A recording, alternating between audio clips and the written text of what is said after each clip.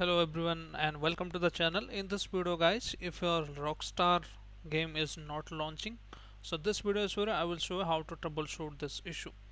So this issue occurs when your windows consider that as a virus or something and the windows defender prevents it to launch so we can exclude it. So simply open your windows defender. Just open this and once you open this go to virus and threat protection. And we need to click on manage. And once you click on manage uh, we need to exclude these guys. As you can see here exclusions.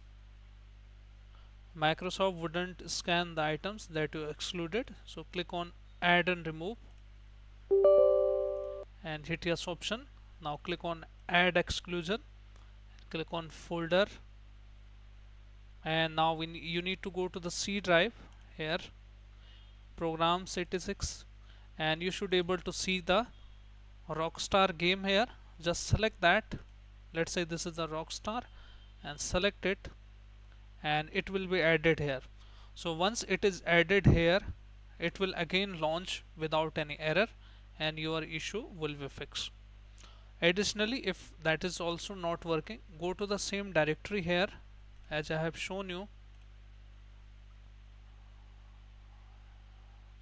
and simply rename it. Right click on this folder.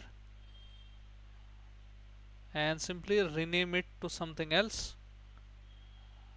Like dot old. Like just type old and click on OK. Once you click on OK the new file will be created. Just restart your windows and after that try your issue will be fixed so this is the fix to fix the issue guys. So hope this video helps you. If yes then hit like subscribe and share. Thank you. Thanks for watching